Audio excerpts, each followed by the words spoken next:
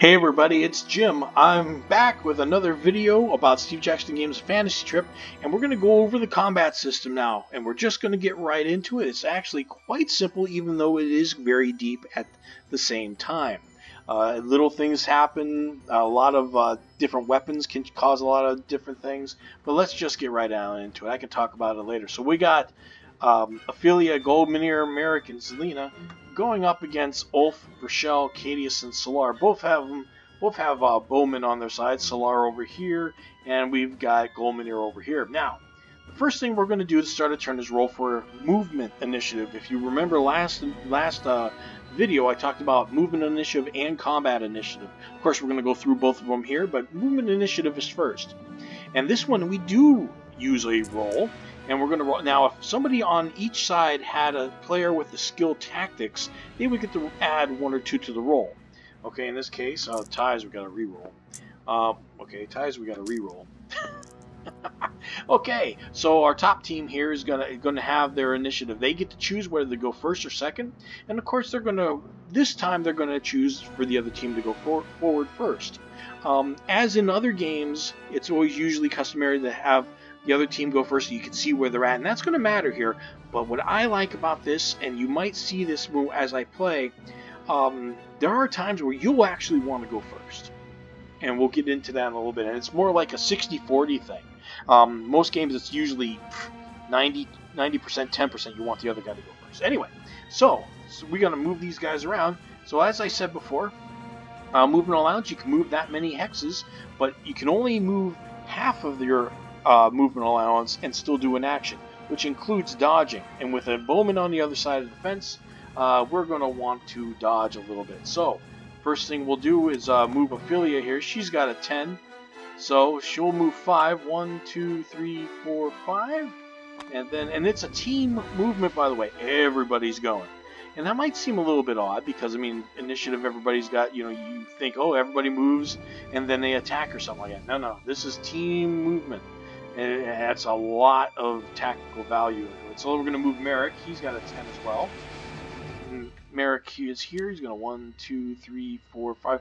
They're going to form a little uh, a little uh, line here, and it's going to be important because in this game, uh, getting attacked from the back is a big bonus, and I'll get more into that in a bit. So then we got Zelina. Now she can only move three uh, if she still wants to dodge. And so she's going to do that because it's just not fun getting pe pecked off. And then now, the difference here is Goldminier. Goldminier is just going to move one so he can still shoot. Anybody that has a ranged weapon can only move one and still shoot. So he'll move one. So that's simple as up. That's the turn there for them. So now we've got Ulf, Rochelle, Cadius, and Solar. So let's move them around, huh? All right. So uh, we got move that around manually here. Okay, that'll make it easier. Uh, Ulf has got a uh, movement of 6, and then nobody's going to reach there and uh, still be able to attack, so we're not going to worry about that too much. So Ulf is just going to kind of go one, two, three, and he's still a target because you got a uh, Goldminier over there with the bow back there, and Rochelle's going to, they're all going to kind of form their little, own little thing here. Now, let me see here. Cadius. Yes, one, two, three, four. And you can, when you're, now right now everybody's moved pretty much straightforward, right? But after you move, if you wish, you can change facing anywhere you want. There's no, there's no, doesn't matter if somebody's next to you or not, you can always change facing. And that's big time important in this game. Now, um, there we go. Solar's going to move forward, and I think it's going to be, uh, it's going to be a shoot fight against the bowman here. But anyway, let's get right down to it. So now movement's done. So, now it's combat initiative who goes first? Well, it goes to the person with the highest adjusted dexterity. That's after armor and all that stuff. And that also includes when you get hit. And we'll get into that a little bit more. Um, so, who's going to go first? we got Ophelia with a 9, Goldminier with a 13, Merrick with a 10, Zelina with a 7. So, Goldminier on this side. And anybody got to beat a 13? Solar does. Boom, boom, boom. Solar beats a 13 with a 14. So, Solar is going to fire first, and he's going to fire with the bow. So we're going to figure out how to do bowman, I mean, ranged weaponry here. This is actually going to be quite simple. Uh, basically, um, now, in, to fire, basically you're going to roll three dice against your uh, against your dexterity. And with Solar with a 14, it's most likely going to hit. So, uh, what's the modifiers for range? Well, it comes down to these megahexes. Uh, the first two megahexes that flows out, and it doesn't matter where you are in your megahex. And we, I should actually make more stuff over here for these. Count this a megahex. Um, doesn't matter. I mean, you can modify this the way you want, but gen the general game is through the megahex. The first two is free, and then the next two count is a negative one, and then the next two is a negative two, and so on. All right, simple as that. Um, so because melee, I mean, missile weapons go pretty far. Uh, thrown weapons are a little bit different. Thrown weapons actually is negative one for each hex for like a throwing an axe or a dagger. A lot different than a missile weapon. Anyway, let's just get right down to it. Now she's gonna want Solar's gonna want to actually go up against the uh, other bowman here because this uh, she's got armor and that's gonna be it's only gonna do one die of damage. So any armor is really gonna not do as much as she'd like. And uh, Merrick here is, is, a good shot, um, but she's got uh, she's got a little bit of uh, Brienne here in the way. You know what? I'm just going to prove that I'm just going to do it anyway. She doesn't like Merrick, so Solar's going to shoot Merrick, but Brachel's in the way. What happens? Well, she's going to have to roll to miss, and because she's a good uh, a good, uh, you know, got a 14, she's not likely she's going to hit. So yeah, you roll to miss the your friends, and we've got a... okay, fine. 15. So she does hit her. So she hits her own friend right in the rear end. It's like, okay. So, okay, with a horse bow of one die damage, so let's take it. And Brachel takes a whopping six. Wow.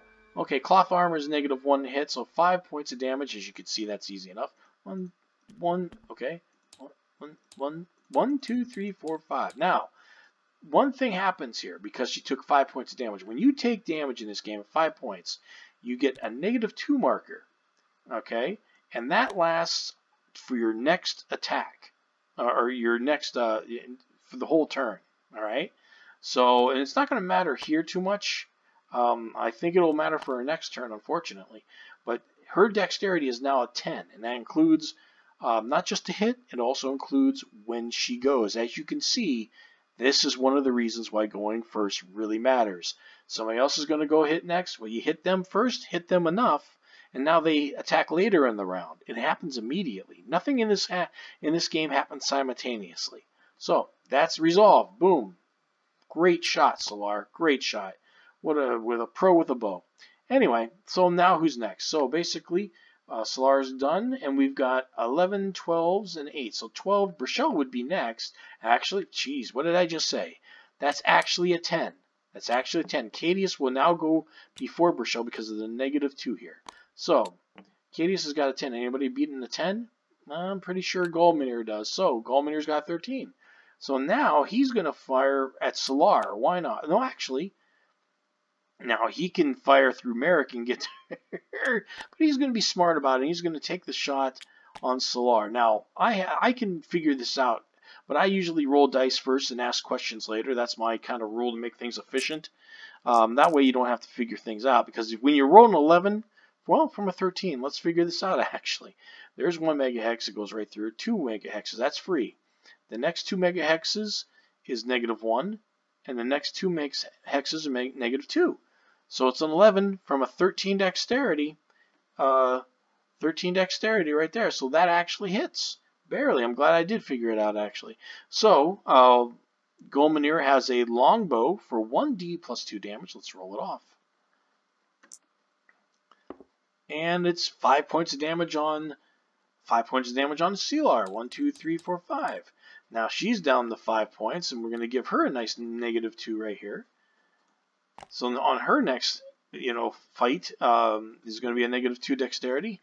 Uh, she might not even go first anymore. Um, so those are the only two that can fight. Everybody else is kind of in uh, limbo over here. So let's just get right down to it and go for the next initiative. Because that, that's it. That's a turn. That's a turn. But we have to get into some hand-to-hand -hand here, and I'll save that for uh, another video.